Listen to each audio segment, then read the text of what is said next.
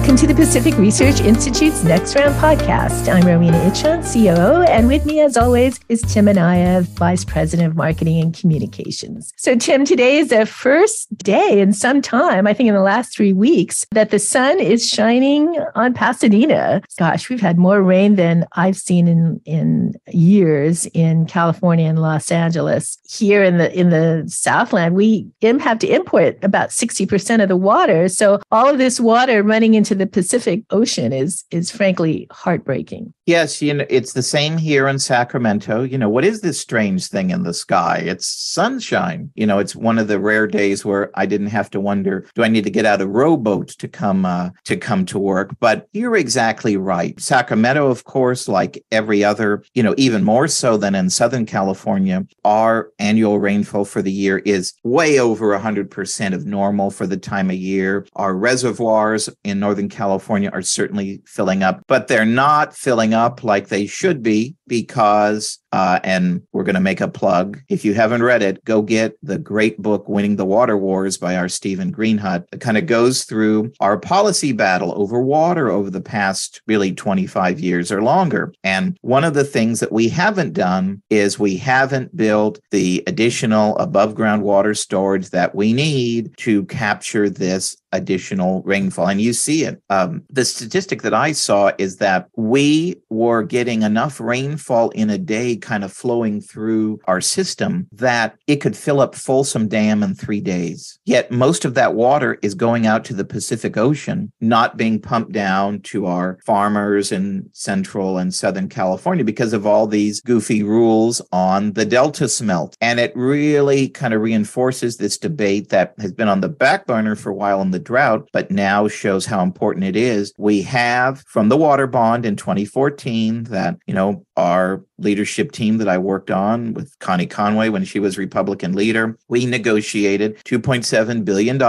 for above ground storage, which actually was for two shovel ready projects, Sites Reservoir and Temperance Flat. That was the money they needed to build it. We appropriated in the bond. The people passed the bond. We're still waiting. It's 2023. We haven't turned a shovel yet. And it, it just is that we, we get caught up in these other kind of ancillary debates and others who, you know, use CEQA and other procedures to throw roadblocks to these critical uh, projects for um, our, our, our our livelihood. You know, we need water to, to to drink to survive, to grow our crops, etc. And so you always say, what's it going to take to change people's minds? And if this doesn't change people's minds, I don't know what will. Well, you know, Tim, on on a smaller scale here in LA, voters in 2018 approved a Measure W, which aimed at uh, improving LA's uh, stormwater capture system. But of course, there's been very little progress. Officials say, well, you know, we did a little bit of work, but the LA Times actually reports that five to 10 billion gallons poured into the LA basin from the current storms, but only about 20% of it had been captured in the county. So county officials say that it'll take about three to five decades to really get it up to speed so that our system will be able to be at full capacity to, to capture enough water to comfortably provide water for, for Southern Californians. So, you know, it's it's kind of a sad state. And as you mentioned, it's uh, you know, there's CEQA is involved. There are the environmental groups that have been thwarted supporting the state stability, even though many have good intentions, that uh, is really stopping our ability to, to capture this water and, and we'll be suffering for it for a long time. And, you know, groundwater in kind of urban areas in, in central and southern California is important. That's why we need to improve our system so we can capture more of that water. And certainly, you know, as, Steve Greenhut talks about in Winning the Water Wars, we, know, we need an all of the above approach. We need to do all of these things. You know, we need to start thinking about water policy in California from the principle of abundance which we can do and can easily get there. And as this storm shows, or storm show, we have a lot of rain coming down at times, um, rather than the principle of scarcity that we um, view everything through the prism of, of today. And I think this is a nice segue to um, you can hear our Steve Greenhut and many other great California thinkers talk about issues like drought and water and how we can improve the quality of life in our major Southern California cities and our um, big cities uh, across California and across the West. At our annual um, PRI Sacramento conference, our California Ideas in Action conference, which is going to be on February 15th in Sacramento uh, at the Sutter Club, go to pacificresearch.org slash events to um, RSVP. Thanks to the generosity of our donors. It's uh, no charge to uh, join us for the day. And we're going to have a really good lineup of speakers talking about this and a host of other issues to improve the quality of life in our uh, urban centers in California. Our keynote speaker is Keith Knopf, the president and CEO of Raley's. And we'll also have Michael Shellenberger, who is the author of San Fransicko, well known journalist, who'll be giving the closing comments. So be a very good day, very interesting. Um, talk if you're interested in any of these issues. I hope to see you on February 15th in, in Sacramento. And Ro, I know we have another interesting event in Southern California coming up soon. That's right. Uh, Gordon Chang, who is a leading expert on China, one of the country's uh, foremost experts on China, is flying all the way here from um, back east to give a talk in, in Newport Beach at the Pacific Club. That's on January 31st. And uh, all of the details to sign up is on our website at pacificresearch.org. So this week we have a very interesting and who knew hot, hot guest in our Lance Izumi, who's the author of the new PRI book just published called The Great Parent Revolt, which you can get at Amazon and all your favorite online booksellers. And The Great Parent Revolt um, is co authored by Wen Yuan Wu of the Californians for Equal Rights Foundation and our own McKenzie Richards. And they profile parents who are facing uh, firsthand this kind of movement for woke ideology and classroom indoctrination um, firsthand with their kids or in their community schools. And it really profiles what each of them did to uh, stand up to this um, huge indoctrination push and shares a lot of lessons that other parents across California and across the country who are facing these battles, um, what they can do, uh, take from them and, and do in their own um, in their own situations. This is a hot book. Lance has been doing all sorts of big national interviews. He was on Fox and Friends today uh, promoting his book, and it's risen to number five for education, policy, and reform books on Amazon. So um, we couldn't have a bigger get this week, I think, Ro. That's right. And, you know, Tim, what I love about this book is that,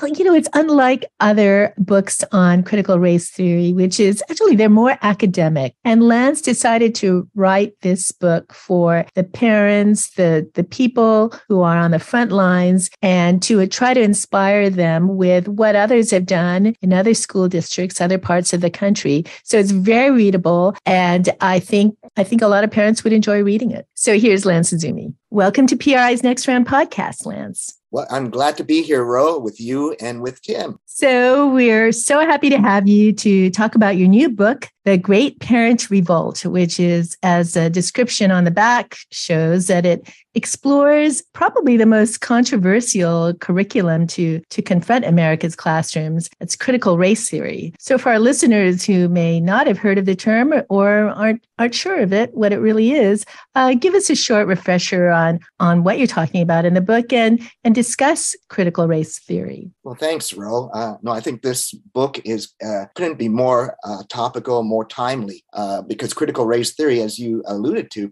is probably the most divisive uh, doctrine ever to enter America's schools. And basically, critical race theory is a Marxist theory based upon race. I mean, for most people who uh, remember their Marxist theory, you know, you have an oppressor class and you have an oppressed class but under classical Marxism, uh, those classes were based upon economic status. So if you were wealthy, you were in the oppressor class. And if you were poor or working class, you were in the oppressed class. Uh, but what uh, critical race theory does is that it changes those classifications. You still have an oppressor class and an oppressed class, but instead of uh, it being determined by uh, person's wealth, it, it's based upon your racial identity. And so, therefore, if you happen to be white, uh, then you are in the oppressor class. If you are non white, you're in the oppressed class. And the reason why uh, this is so insidious is that because of uh, this classification, then you can see why uh, you have then uh, terms such as systemic racism, institutional racism, white privilege. These all stem from critical race theory. So, for example, if you believe in critical race theory and believe that whites are part of the privileged oppressor class and they founded the country and uh, created the founding documents uh, and the institutions in the United States, well, therefore, those institutions, those documents are all tainted by uh, white supremacy, white privilege, and therefore are in, uh, institutionally and systemically racist. And that's um, you know uh, what students in the classroom are facing when uh, you have teachers and administrators who are pushing this doctrine, and it's caused incredible division amongst people, uh, not just uh, across the United States, but certainly in the classroom uh, with children uh, fighting against other children and um, you know teachers you know ending up being propagandists, not educators. So, Lance, a, a common criticism that you hear when you um, see the left and, and some media pundits talk about conservative efforts to stop critical race theory in our school is that it doesn't exist. But as you document in The Great Parent Revolt, it certainly seems like many parents across the country are confronting this controversial doctrine in their children's school. So, just how prevalent is critical race theory in our schools today? Is there any kind of quantification of it? And what's behind the left trying to say that it doesn't exist when clearly it is a big problem? Well, it certainly is a huge problem, Tim. And uh, you know, but the left is also very cagey, right? They know that uh, the term critical race theory and its open, uh, you know, connection with Marxist theories you know, is not going to uh, pass muster uh, for most American families. The, you know, they're not going to accept it if uh, they uh, hear that critical race theory is being pushed in their kids' classroom. So, therefore, what the left has done is they're high, they're they're pushing critical race theory and the tenets of critical race theory, but under different guises, under different uh, euphemisms. So you have, for example, terms such as diversity, equity, and inclusion (DEI) being used kind of as a euphemistic fig leaf for critical race theory and you know that's you know very problematic because you know at, the average person say well you know i'm in favor of diversity uh, you know and uh, you know equity seems like a good uh, good thing and inclusion i want to include people i don't want to exclude people. So uh, therefore most people will say that that's a uh, that, that that concept is a good thing not really going down below uh, the uh, acronym dei to really see exactly how that uh, term is being used uh, to push critical race theory tenets in the classroom. So, for example, the word equity, which is used all across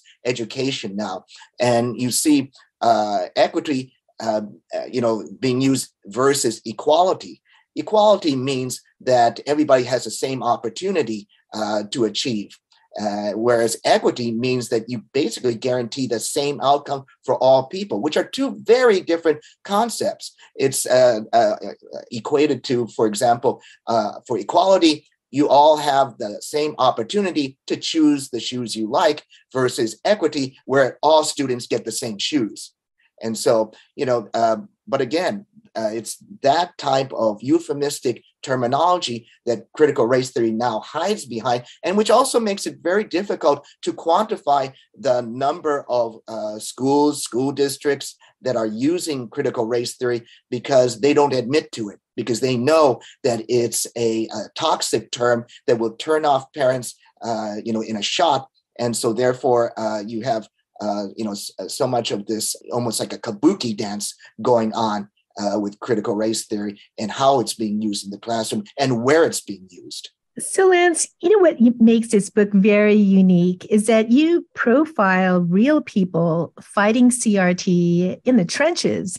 And the the first mom that you profile is Gabs Clark, who you describe as as poor African American and courageous. So, share a little bit about her story with us, uh, which ended up with her filing a, a, federal lawsuit over how her biracial son was subjected to critical race theory in his school and even saw his high school graduation threatened. Yes, no, that's right, Ro. I, I mean, I really think that Gabs Clark is a a real hero. And she's really one of the most unlikeliest of heroes. Uh, you know, as you mentioned, she's an African American woman. Uh, she's very low income. Uh, she has five kids. She's a single mom. And, uh, you know, she was so poor, in fact, that uh, she and her family, uh, her kids were living in a motel in Las Vegas. And they would often have to make decisions about whether they were going to use what little money they had to buy gasoline or buy food. Uh, Gabs had a disability that caused her financial uh, situation to, uh, you know, really dwindle, and so therefore, you know, she was in a very difficult uh, situation personally. But you know, so she had enrolled uh, her uh, children in a charter school in Las Vegas called Democracy Prep, and um, in this school, her her oldest son William was in high school and uh, he was uh, taking a class called the sociology of change which it turns out was very heavily influenced by critical race theory principles. And one of the uh, exercises that uh, w- was required to do was to uh, do a racial uh, identity exercise where he basically had to, you know, list out uh, various characteristics that apply to himself, not just race, but also uh, religion and uh, sexual identity, all these sorts of pretty personal uh, uh, things, and uh, then put that out and, and identify himself based upon those characteristics as whether he was privileged or not privileged, whether he was an oppressor class or an oppressed class. And uh, so William you know, was very uncomfortable with that. And he refused to do it. He refused to complete that assignment. Now, that course, however, the sociology of change was a required course for graduation. Uh, because he did not complete this assignment, he was given a failing grade in that course. And uh, you know he was not given the option to opt out. He he was he failed the course, and because he failed a required course at the school, uh, he was not allowed to graduate well, you know, put uh, in this situation where uh, she she sees her son, you know, losing his future. You know, all his plans for college and work are all being uh, now pulled out from under him, being destroyed in front of her face.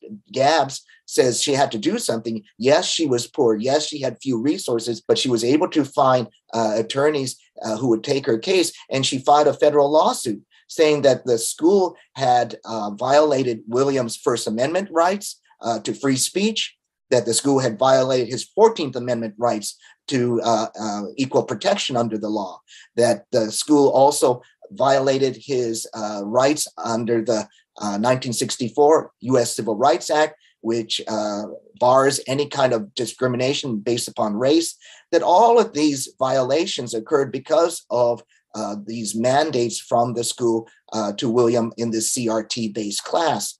Uh, so she uh, filed this lawsuit in um, uh, federal court. the judge, interestingly enough, indicated that Gabs would actually likely win on the merits because of the heavy consequences that befell um, William because of these mandates from the school. The school, because of this indication from the judge, then caved and offered to uh, give William uh, his diploma. But Gab said, You know something? You've ruined a lot of my child's future because of uh, you've derailed his college and work uh, future and uh, the schools he wanted to get into, etc. So she continues to fight this lawsuit, uh, even though the, the school at first imploded or caved in.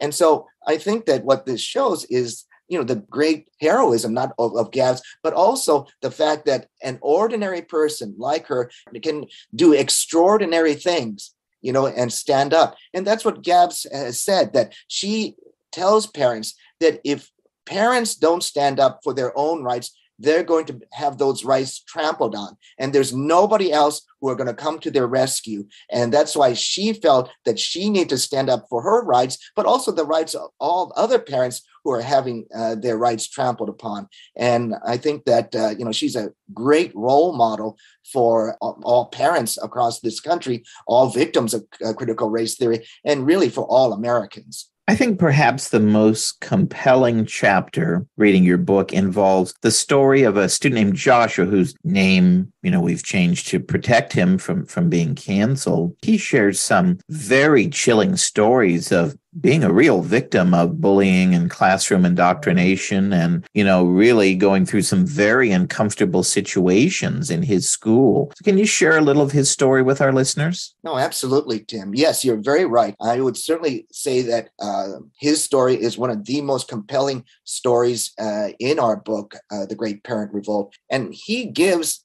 a real I mean, uh, unbelievable in the classroom view of what is going on under critical race theory. Um, you know, we often, you know, hear uh, reports by people who write about uh, what's going on, whereas in the case of Joshua, he's giving us uh, in this book an almost reporter's view a front seat reporter's view of what is going on under critical race theory. And so he says that there are uh, one of the exercises that he was required to do in a class in uh, middle school was a, something called a privilege walk, where all the kids were lined up uh, in the classroom and the teacher would call out certain characteristics that were uh, viewed as privilege. And so, for example, if you were white, you'd have to take a step forward. If you were male, you had to take a step forward. If you were Christian, you had to take a step forward. And so, but Joshua, uh, said that it felt like a criminal lineup to him, where you know he had to then take steps forward and be um, you know singled out for his privileges in front of the whole class, and he felt extremely uncomfortable about that. And you know why should he uh, be the focus of you know uh, bad feelings in the classroom? Because he simply was born with these characteristics and you know the, and but that wasn't the only type of exercise that he had to do. He had to do something called an identity wheel. And he said that in this uh, identity wheel exercise you know there were like 16 or 17 different characteristics that uh, kids had to uh, grapple with uh, their race, their religion, their sexual orientation, their gender, etc. And then they had to uh, list like where did they fall under these various categories, and then they had to then ta- uh, sit with uh, other groups of students and tell uh, you know where they fell in these categories. And joshua said no i sh- shouldn't have been required to answer these personal questions on my identity uh, including my socioeconomic status of my family or my sexual orientation. He said that these personal details shouldn't be the concern of other students in my class and they aren't entitled to that information you know, if I say I'm straight, then I get humiliated even more. Or if I say I'm upper middle class, then that's going to be worse for me. So again, you know, it's being singled out for characteristics that he has no control over, and that he is then becomes uh, the, the, focus of bad feelings amongst his classmates. Um, there was another uh, exercise that he had to do called uh, that where he would have to draw the face of a person without looking at the paper. And you know, when he uh, did that, he came away with the his own personal lesson that well, you don't have to be perfect to do art. But when he mentioned that to his teacher, his teacher came back and said, well, perfectionism is white supremacy, and that perfectionism, paternalism, either or thinking, and objectivity are part of white supremacy culture. And you know, he was shocked about that, and that uh, that viewpoint was part of their curriculum.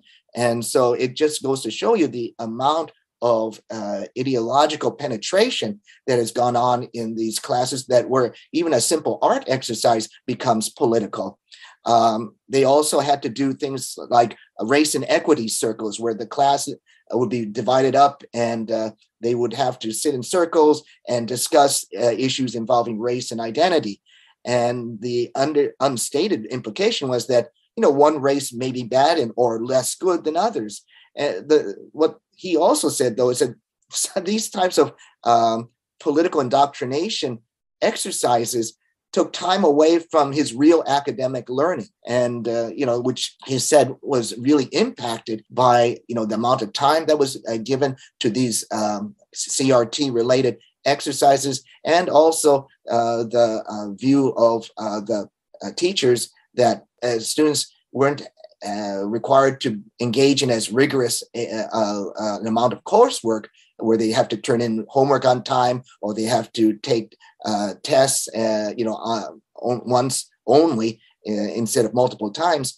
And you know that was because the teachers were more concerned about equity and that so that students could therefore turn in papers late. They could take tests multiple times. Uh, they could uh, not do final projects which had previously been required. So i think that what uh, the bottom line is that joshua felt that his academic experience had really uh, been degraded because of critical race theory. He came to school in order to learn his academics and what he got instead was political indoctrination on the one hand, it's not just the indoctrination itself that is harmful, the propaganda that changes the uh, or forces students to change their views, but it's also too the lost time uh, that they uh, are forced to endure in terms of their academics. A very powerful chapter ripped right from today's headlines profiles Asra Nomani, who is a, a, former reporter and a Muslim woman whose father actually marched with Gandhi and who protested the treatment of Asian students at her son's school in, in Fairfax County, Virginia. So tell us about her story and also why she's back in the headlines again, challenging woke indoctrination in, in her neighborhood schools. Well, thanks, Ro. Uh, Asra Nomani is a really amazing figure. Uh, she was born in India.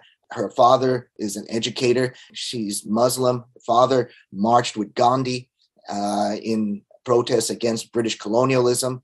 And so uh, when she came here to the United States, uh, she eventually settled in Virginia, uh, was a single mom, and uh, you know had her son enrolled in Thomas Jefferson High School in uh, Virginia, which is uh, Virginia's top academic high school.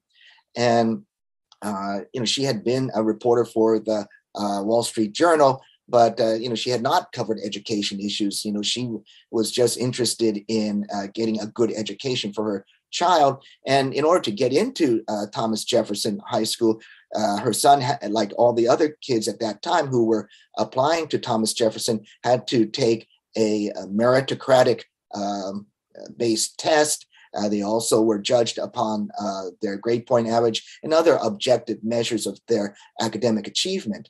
But uh, when uh, her son was at uh, Thomas Jefferson, the school decided to change their admissions process. And the, the, what was really insidious about the change in the admissions process was that the change was directed at Asian Americans like Asra Nomani and others uh, who were at the school. Uh, Thomas Jefferson High School, uh, right now, or at that time, had about 70% of its student body as Asian Americans. Well, uh, the left who controlled the school board uh, didn't think that that was the proportion that they liked uh, at Thomas Jefferson. They wanted to reduce the number of Asians, and so therefore uh, they changed the uh, admissions process to become much more subjective. And so instead of you know relying just basically on test scores, uh, GPA, and teacher recommendations, now you had other subjective factors uh, uh, being thrown in, plus the fact that uh, they, the school board limited the number of students who could come from any particular middle school. Well, it turns out that most of the Asian Americans came from three uh, particular middle schools in the area. And therefore, if you cap the number of kids who could come from any of those uh, middle schools, you basically cap the number of Asians. And so, uh, the, after the implementation of this new subjective uh, admission system, the pr- proportion of um, Asian Americans fell by nearly 20%. And so, you know, because of this, uh, there was a huge grassroots uproar from the Thomas Jefferson uh, High School community. And Asra Nomani was a leader in that uh, parent revolt uh, around Thomas Jefferson High School, and she she and others there uh, formed a coalition to fight against uh, these actions by the school board. And uh, eventually, they took Thomas Jefferson to uh, they took uh, the school and the uh, board to court and sued based upon you know violations of various constitutional rights. Uh, such as equal protection of the law under the 14th Amendment. And so uh, that case is continuing to proceed. But um, you know what what it shows though right now is the lengths to which the left is willing to go to uh, get their racial utopia, whatever that is in their mind. And what's interesting is that the people who are the victims of this are not just white children, but as in the case of Thomas Jefferson, they're Asian children, they're non white uh, kids. But if they happen to stand in the way of this left wing ideological uh, narrative, then the left is just fine with making them victims. And so uh, I think that uh, you know what's happening now in um, Thomas at Thomas Jefferson uh, and uh, what Asra Nomani is doing is uh, not just uh, uh, pushing that lawsuit, continuing to help with that lawsuit, but also too, uh, the school has had decided that they weren't going to notify kids of their um, award of national merit recognition, which is a, a huge um, award that uh, is often used by students in order to get into better uh, universities and colleges. And you know, they the reason why the school did this is because they didn't want to make the kids who didn't receive a national merit award uh, feel worse because they didn't receive one. And the basis for that is again harking back to what I said earlier uh, is uh, is equity. All kids need to have the same outcomes not that they have the same opportunity to achieve awards and those sorts of things, but everybody has to be viewed as being the same. And so, therefore, um, the the school, you know, uh, did not uh, inform the uh, uh, parents and the kids of these awards in a timely manner, so they could uh, use these uh, awards in the college uh, admissions process. Well, Asra and other parents there, you know, have complained to the new state officials in uh, in Virginia, and Attorney General Jason Miyares has opened uh, an investigation of what has gone on at Thomas Jefferson. And I think we're going to be hearing more about that case and also Asra Nomani in the days uh, to come. So, on the policy front, California certainly has been the epicenter of a very heated political battle to enact a controversial ethnic studies curriculum in our schools. Now, you profile in your book two very strong women who formed a grassroots organization to try and stop some of the most really um, radical aspects of this curriculum, which they believe would perpetuate anti Semitism in our schools. So tell us their story and also where things stand with this battle over California's ethnic studies curriculum. Yeah, thanks, Tim. I mean, it, it's a it's a huge issue here in California and will be an issue across the country. Uh, the two women that you mentioned are Elena uh, Kaplan and uh, Leah Renson who have uh, started an organization called the Alliance for uh, Constructive uh, Ethnic Studies, or, or ACES. Uh, and so, what this organization is doing is that it's fighting against what's called liberated ethnic studies. Liberated ethnic studies is, big. I mean, when we think about ethnic studies, we think about, you know, looking at people and, and, and their ethnic cultures and uh, you know ensuring that everybody gets along that uh, you know everybody can benefit by knowing something about other people's cultures. But this is not what liberated ethnic studies is about. Liberated ethnic studies is just another name really for uh, critical race theory and where you uh, base people uh, based upon their ethnicities their racial uh, categories in oppressor classes versus oppressed classes. And again you have that whole dichotomy being used then to battle things like capitalism, which is viewed as being a uh, product of uh, white privilege, for example. Well, in the case of or liberated ethnic studies, that, that ideology had advanced so far that it actually permeated the first draft of an ethnic a model ethnic studies curriculum that was proposed in California, and so the, there was uh, not only uh, this uh, Marxist uh, ideology that was in, involved in that uh, draft curriculum, but also too what you had were anti-Semitic and anti-Israel uh, tropes and doctrines uh, that were shoehorned in there as well. Um, Leah Renson is a, a, granddaughter of Holocaust survivors, and Elena Kaplan came uh, as an immigrant from the former Soviet Union. So they understand, you know, totalitarianism. They understand anti-Semitism, and they uh, saw, for example, when liberated ethnic studies draft curriculum, model curriculum, that uh, we had sections where the establishment of Israel was viewed as uh, using the term Nakba or a catastrophe, and uh, where we had provisions that pushed the boycott and divestment movement against Israel. And so you had uh, Elena and um, uh, and Leah, you know, seeing these anti-Israel, anti-Semitic uh, parts of this um, curriculum and fighting against it uh, organizing their organization with other organizations and with grassroots to uh, really raise up an outcry against this draft model curriculum. And you know to, to the extent that it was actually pulled back. Even in california uh, there is a limit and so they uh, this was at, pulled back by california education officials and uh, you know and eventually a more moderate version was uh, was then approved and so that's a victory I think, for uh, even here in California, where you see, um, you know, the grassroots people, parents like Elena and Leah, who have put themselves forward. Even though you know you had people like Leah who said that she was never political, and it was only when she saw what was going on in the schools that she decided uh, that something needed to be done, and that she was the person that needed to step up and do it, just like Gabs Clark.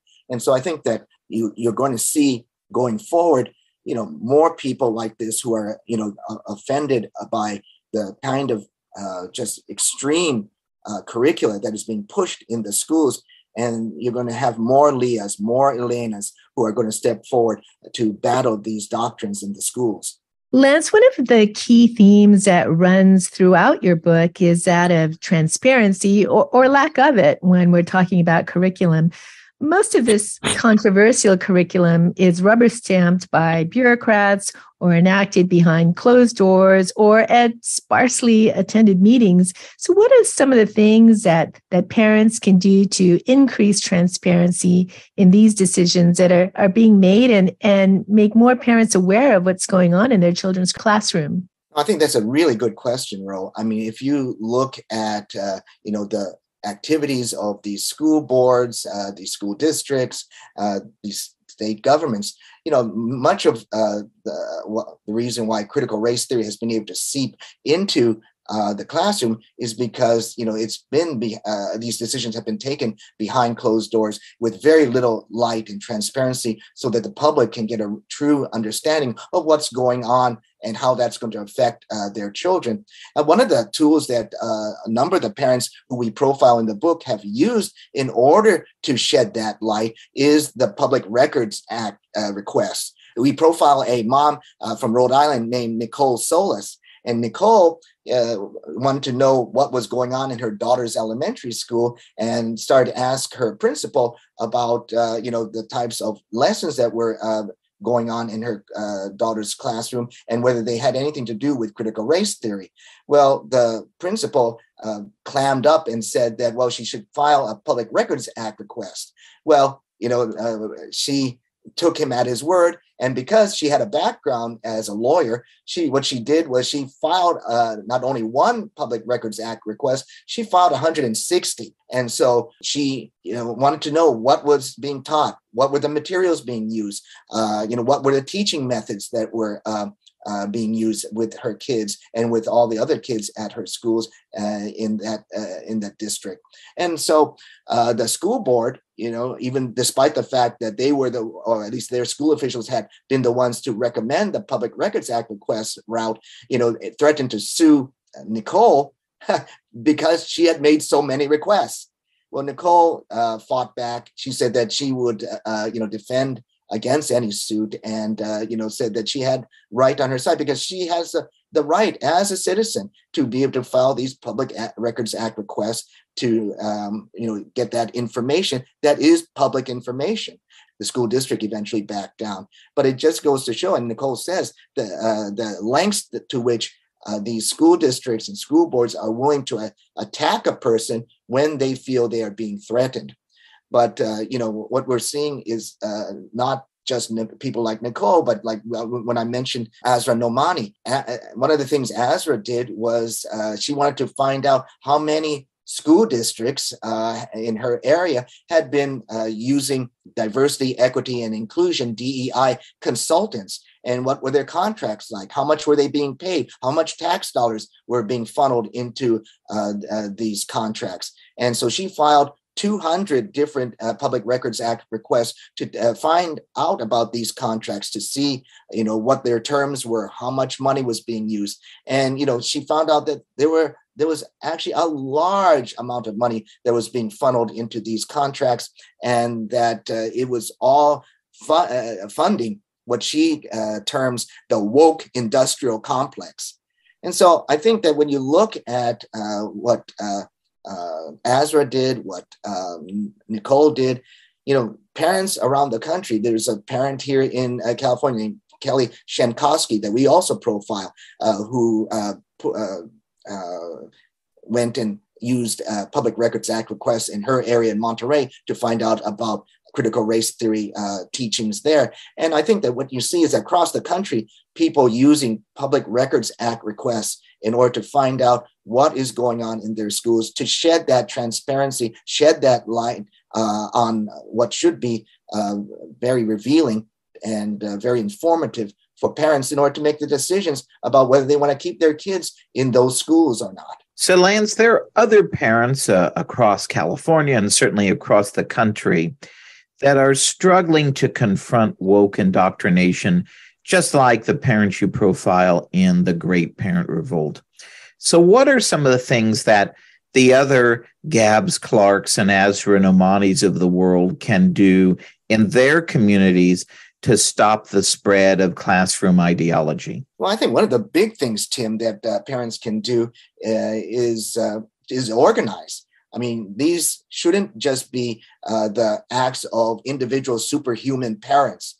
Uh, I think, and that's what you're finding actually across the country. Uh, the people that we profile in the book are not just individuals, but oftentimes they're part of uh, organizations of parents who have started uh, uh, groups in order to give strength and voice to parents who, up to this point, have been voiceless and powerless. And so uh, we uh, profile, uh, for example, Tiffany Justice, who started Moms for Liberty, which now has um, uh, more than uh, 200, I think up to around 200 different chapters around uh, the country and around 85,000 members. Uh, we profile uh, people who've started organizations such as No Left Turn in Education. Asra Nomani was involved with Parents Defending Education. These and lots of other groups around the country have sprung up in the last several years.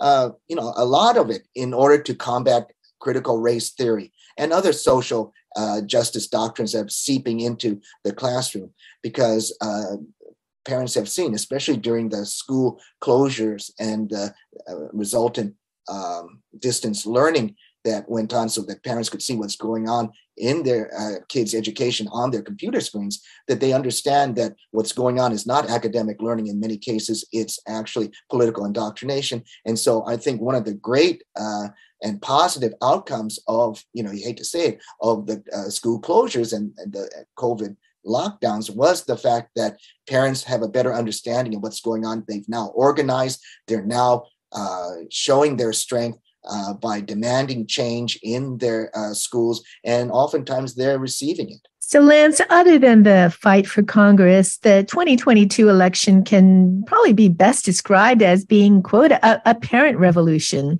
when these first time parent candidates in California and across the country who were just fed up with the direction of our schools ran for and were actually elected to their, their local school boards. So, so bring us up to date on where things stand after the election. And are you feeling more or less optimistic that this grassroots movement to, to stop critical race theory in our schools will succeed? Well, first of all, I think, uh, Ro, that uh, you know it was a huge uh, day uh, for parents on election day in November because all across the country you saw school boards that had previously been controlled by uh, education special interest groups uh, now flip to uh, pro-parent slates of candidates. Um, many places across the country, not just in red states like Florida, but also in places like uh, California. You saw parents, uh, you know, gaining majorities on school boards uh, in order to change the direction of education in their schools and their school districts.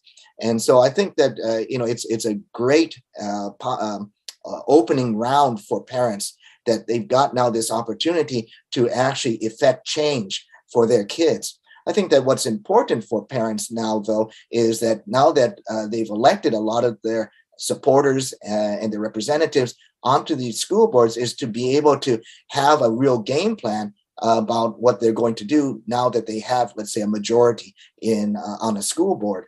And you know, one of the things that the Pacific Research Institute has done is to uh, give uh, parents uh, these pro-parent uh, school board members that type of game plan. We, for example, just recently we organized a school board training uh, program or conference uh, down in San Diego where we invited uh, pro-parent, pro-reform school board members uh, to uh, receive training from our expert trainers on how to be an effective school board members, how to confront issues like critical race theory, and how to improve student performance in the classroom as a school board member. And uh, we had a huge uh, outpouring of uh, interest. We had a, a, great crowd at that conference in San Diego. And, you know, and you wouldn't think that in a place like California that would happen, but it did.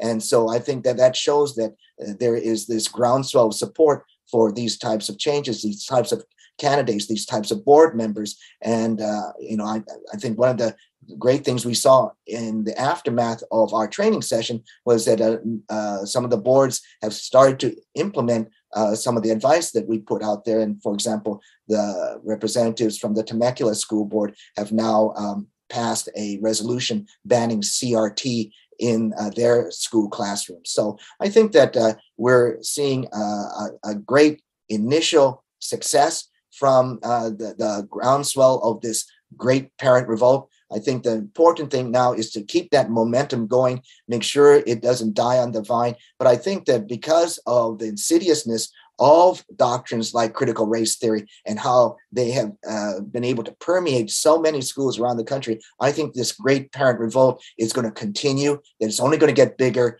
And I think that in the end, that parents are going to win. Thanks so much, Lance. And for families, parents, and listeners out there who want to buy Lance's book, it's available on Amazon.com and all of the usual online places. Thanks so much, Lance. Thanks very much, Ro. Thanks, Tim. If you like this episode, please tell your friends and subscribe to PRI's podcast at iTunes, Google Play, Stitcher, TuneIn, iHeartRadio, and Spotify.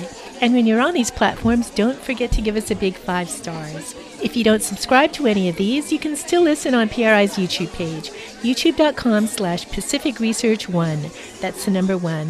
Thanks for listening. I'm Rowena Itchon. Hope you'll come back again for next round with PRI.